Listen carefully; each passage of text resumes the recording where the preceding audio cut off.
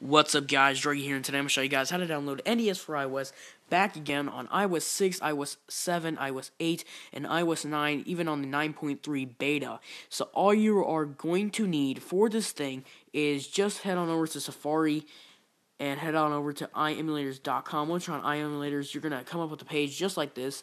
Go to apps, scroll down until you can find NDS for iOS.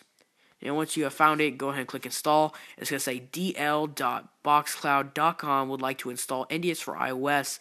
And you just want to go ahead and click install. See? And then click install. I've already installed it, so I'm going to go ahead and press cancel. Now, if you're on iOS 8, uh, 7, 6, um, anything like that, anything below iOS 9, well, basically that's how you download it.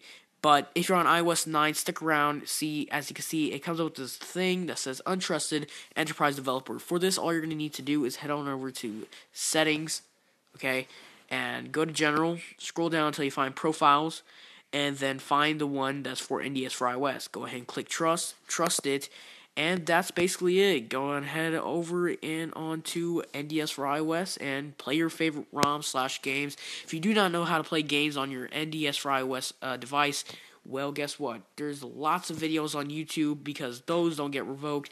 I just made this video because obviously NDS for iOS always gets revoked, and I'm trying to keep up with when they come back and stuff like that. So subscribe to my channel because I try to make it come out as fast as I can. Like I'll always try making my videos come out before anybody else's because other YouTubers they take a little bit more time to actually process and render the video while I just can quickly upload it to YouTube no problem.